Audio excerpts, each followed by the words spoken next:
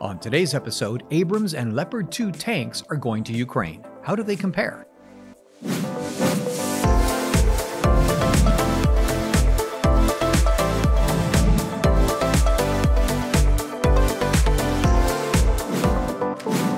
Today's episode is brought to you by Engineering.com, a globally trusted source for engineering content.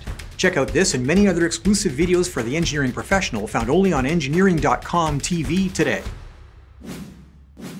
Tanks have been a game-changing technology in warfare for a century.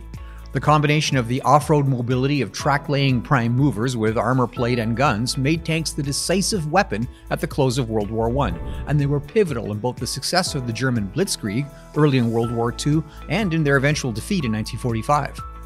In 1950, South Korea was almost lost to the North Korean surprise attack led by T-34 tanks.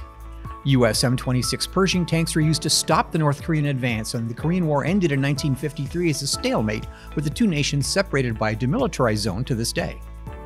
Wars since then have not featured large scale tank battles either because the terrain was unfavorable, like Vietnam, or the technology mismatch was great, as during the Gulf War.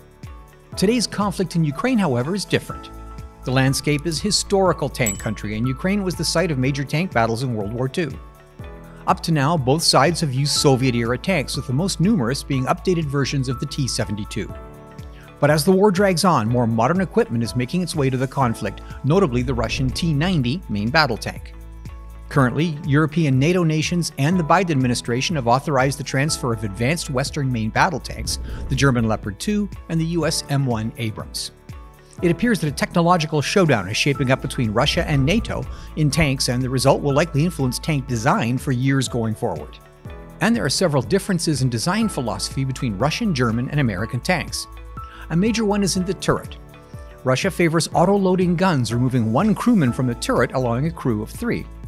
This also allows a smaller and harder to hit turret. Western tank guns are loaded by a dedicated crewman manually. The advantage of manual loading is that ammunition can be stored outside the tank turret, preventing the detonation of shells inside the crew compartment in case of a hit. The result of the ignition of rounds inside the turrets of Russian tanks have been devastating in Ukraine, with the turrets frequently blown off the hull and poor survival odds for the crews. Armor in all three tanks use composites, special steel alloys, and can be fitted with explosive reactive armor, which explosively pushes against the force of an incoming round. Armor and the shells that attempt to penetrate it are fascinating engineering subjects, but perhaps the most important differences between the tanks is in information systems.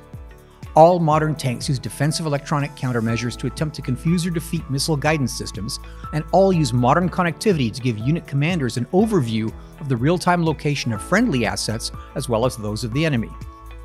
The surprising effectiveness of portable, human carried anti tank missiles like the Javelin has caused some analysts to predict the end of tanks as an effective weapon, but the conflict in Ukraine now features real time intelligence from drones, crewed aircraft, and satellite surveillance, as well as ground based radars and sensitive infrared sights.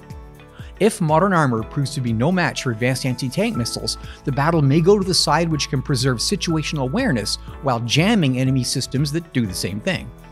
If Ukraine demonstrates that drones and missiles have made the main battle tank obsolete on the battlefield, it's possible that they may re emerge as an armored, mobile command post coordinating attacks from autonomous land and air assets. Or, tanks themselves may become fully autonomous or be controlled remotely.